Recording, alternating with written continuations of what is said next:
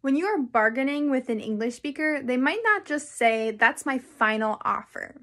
If they give you a price, let's say you're buying a camera from them, and they say $500, you can take it or leave it. That means that you can either buy the camera from me or you can walk away. I won't give you another offer.